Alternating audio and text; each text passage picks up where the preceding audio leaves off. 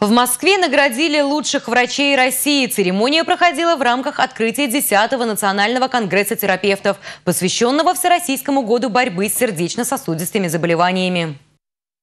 Всероссийский конкурс «Лучший врач года» проводится 15-й год подряд. Победителями в этом году стали 90 лауреатов. Среди них трое врачей из Чуваши. У нас работает лучший онколог России. Им стал заведующий отделением республиканского онкодиспансера Сергей Агафонкин. В номинации «Лучший офтальмолог» третье место присуждено врачу Республиканской клинической офтальмологической больницы Татьяне Наумовой. В номинации «Лучший фтизиатр» третье место у врача-фтизиатра Республиканского противотуберкулезного диспансера Надежды Надежды Апраксиной. География претендентов на звание лучших врачей расширяется с каждым годом. Конкурс проводится по 33 номинациям.